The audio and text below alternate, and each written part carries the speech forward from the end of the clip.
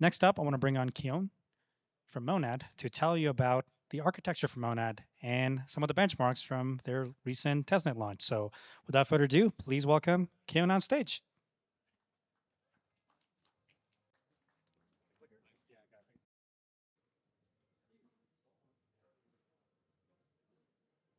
All right. Hello, everyone. Great to be here. My name is Keone Hon uh, from the Monad Foundation. Um, today I'll be giving a little bit of a different presentation.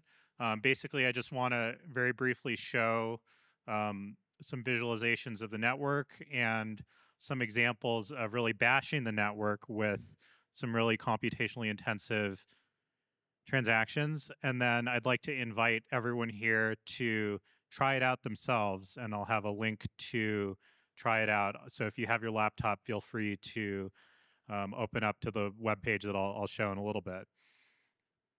Just to give a very quick background on Monad, Monad is a new EVM layer one, but really it's a technology project that's bringing high performance to the EVM through new architectures that we think are really needed in the space.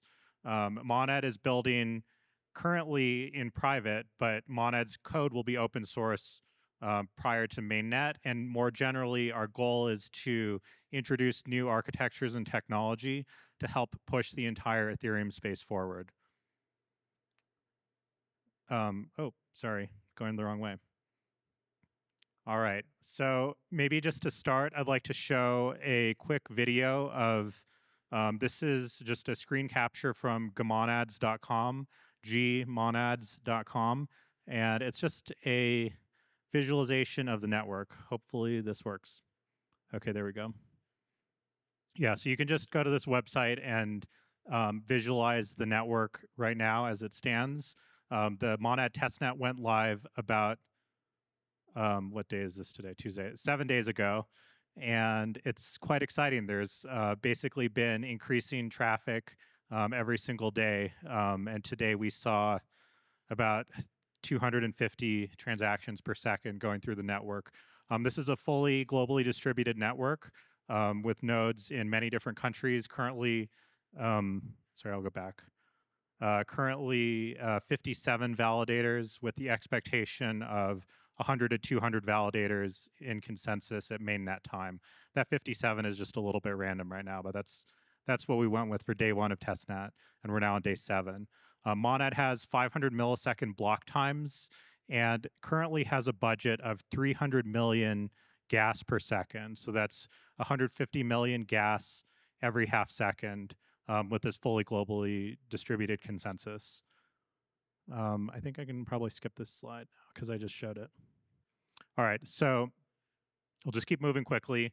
This is a pretty familiar contract if you if you've used Foundry ever. Um, it's just the counter, so it's the default um, smart contract. And then I've modified it a little bit just to add some really dumb functions uh, in addition. So you have the increment function, but then I added another function called increment many, which just does a for loop. Um, and then I also added a couple of other functions which um, push many and uh, free many, which just push a bunch of variables onto an array and thus um, use or free up storage slots. So this is a really dumb contract. Um, I did this in like an hour today before my talk because I was procrastinating. Um, so apologies that it's not more elaborate, but I think it still shows um, the overall computational throughput of, of Monad. So with this contract here, um, I ran a, uh, well, anyway, I wrote a script that basically will call that contract. Um, and so specifically, it calls that increment many function with an input of 400,000. So that's just going to do a for loop from 1 to 400,000. Um, and it costs 141 million gas. Um, and it landed in, uh, well, anyway, it, it completed in 1.1 seconds. So it basically took up a full block. Um, and the transaction hash is there. And then there's a link to the Explorer, but I wouldn't expect anyone to be able to type that in. Okay, so again, that was increment many, so just showing that we can submit a really computationally expensive, really dumb contract, um, a really dumb transaction, and do a ton of work on Monad. Um, so next I did, uh, oh, sorry, that's just a screenshot of Block Explorer. So next I did push many. So this, I passed in, I just tried different numbers, did a binary search, and I think the max was like 6,700 or so. Um, so I ran push many with 6,500. So this allocates 6,500 storage slots. Um, if you're an EVM person, then you know that each storage slot, um, like allocating a new storage slot costs about 20,000 gas. Um, so this is quite expensive, but it cost 146 million gas. And again, it landed within um, one slot. So it completed within about a, actually, I don't have the, input, the output there, but it, it completed in about a second. You can check the Block Explorer. So basically what we have is a really high performance, really high throughput environment in which anyone can build anything and worry a lot less than we do right now about gas optimization and get really high performance and get really fast finality as well because Monad um, has one second finality and again is fully globally distributed. Um, but I don't want you to just believe what I'm saying. I want you to try it. So what I've done is I've put up a uh, GitHub repo. It's pretty bare bones. Actually, it's extremely bare bones because I did this in like an hour. Um, but github.com slash monad dash developers slash speed dash test. Um, feel free to fork it, modify it. Um, basically, it does the stuff that I, I mentioned. Um, and then in addition, I also put up a really bare bones web app, um, monad dash speed dash test.vercel.app. Um, it's password gated, and the password is Pragma 2025. And the idea of this website is that it just allows you to do those same things that I did, um, but with the input, uh, your own input. Um, so some people might be trying that out right now, but here's just a screenshot of the website. So it just you know allows you to choose the function name, um, the argument to the function, and then also run a number of copies if you want to. So um, this basically is just an example of me calling that with 350,000 five times and it lands in the next five slots. So once again, you can go to monad-speed-test.vercel.app and password pragma 2025 and try it out. Um, have fun. So that that website is actually tied to an EOA that has a bunch of Mon tokens in it, testnet Mon tokens, so that you don't have to pay for gas. But the other thing is that um, I would love for ever anyone who's here who wants to play around, who wants to write their own um, dumb contracts that use a ton of gas and that are really inefficient um, to get some testnet tokens as well. So if you go to that first website, there's also a link to um, a Google form where you could drop your address and um, uh, uh, my colleague Kevin will send you some tokens right now so that, yep, he's right there. He'll send you some tokens right now so you can try it out as well. Um, yeah, so I'm just super excited. Um, Monad has been in development for the past three years. Um, it's been a huge effort, and we're really blessed to have the support of so many in the crypto community to make this happen. But um, it's been a huge effort to build new architecture, um, which I'll talk about in a second, to enable this level of inefficient gas contracts that are really dumb um, that can build anything. All right, so that was just a quick, um, you know, link to the website. Hopefully, you guys are trying it out right now, sending Kevin your um, testnet token requests, and he'll send make you a testnet token whale right now. Um, just to explain a little bit about how this is possible, how uh, Monad has gotten to 300 million gas per second um, on testnet day one or day seven um, with a uh, expectation of raising that limit further to a billion gas per second uh, by the time of mainnet in um, a couple of months. Um, I can give a quick summary of what we've built and how this is possible. So first of all, just to give a quick summary, uh, Monad's fully bytecode EVM equivalent. So that means you could take any bytecode uh, built for the EVM and redeploy it without any recompilation.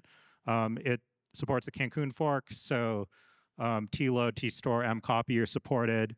Um, the same opcodes costs as Ethereum, so everything still just works the same way. Um, the RPC is compatible with Geth. Um, so you can use the same ETH underscore get logs or ETH underscore get balance or ETH call or all that works uh, the same way. Or if it, anything doesn't, just let us know and we'll, we'll fix it ASAP.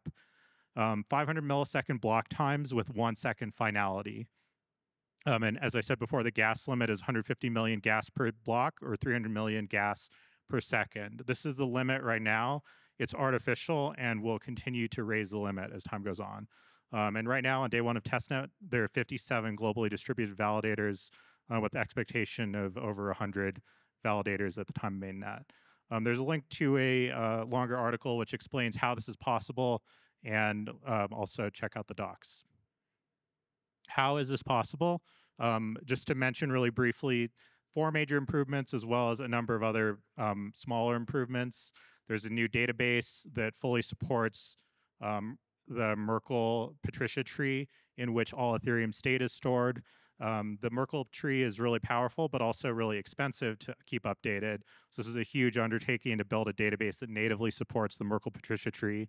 Um, additionally, Monad supports um, OPE, or optimistic parallel execution, for executing many transactions in parallel um, and taking advantage of the high throughput and parallel access capabilities of this database. Thirdly, Monad introduces asynchronous execution, which is decoupling consensus from execution to raise the budget for execution substantially. And lastly, Monad introduces a new consensus called Monad BFT.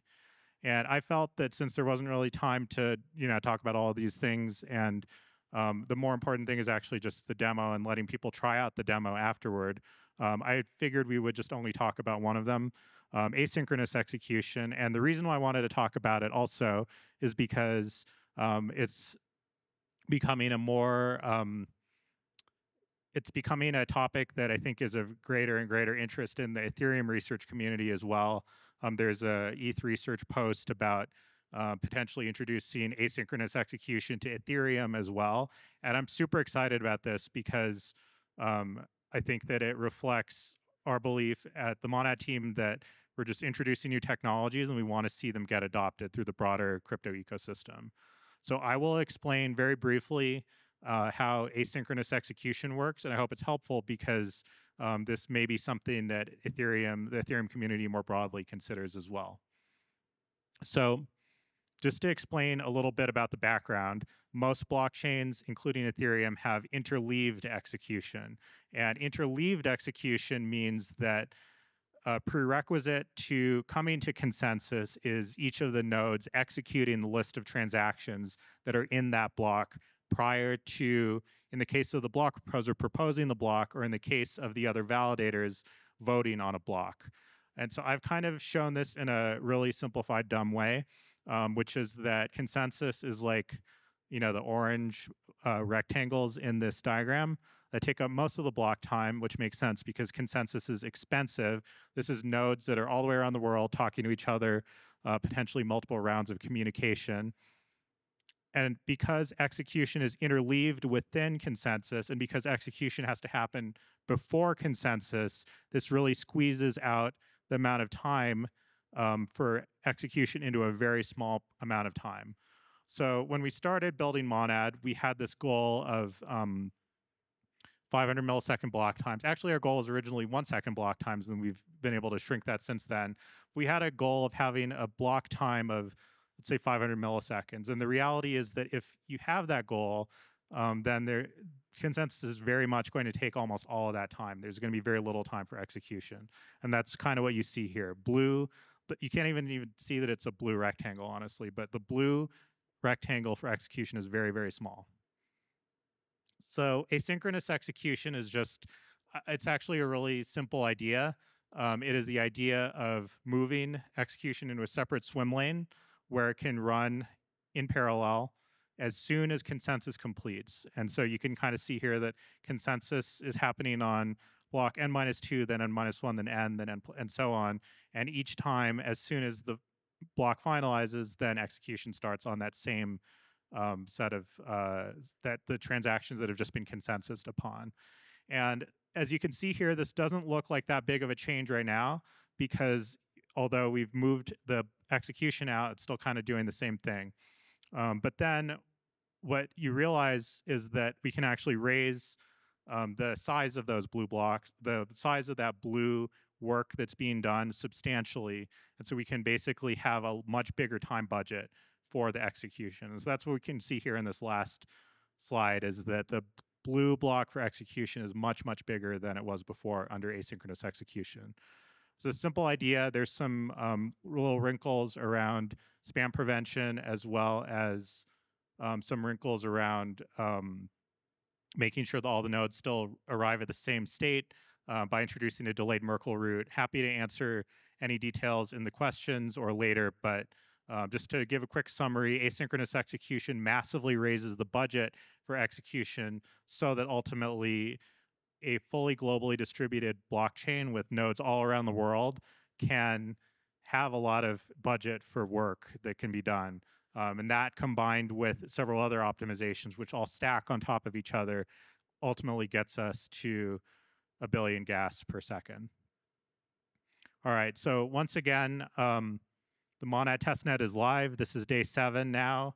Every single day we've seen a growth in usage from about 30 TPS on day one, um, growing almost linearly now to somewhere between 250 and 300 TPS.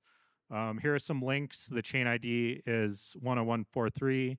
Um, you can try out the RPC. Um, you could look at the block explorer. You can check out the network information, and you can check out testnet.monad at XYZ um, if you want to try out some fun applications that have deployed already on, on day one of Monad testnet. And once again, you could try out the demo. You can um, push PRs to my really crappy code base.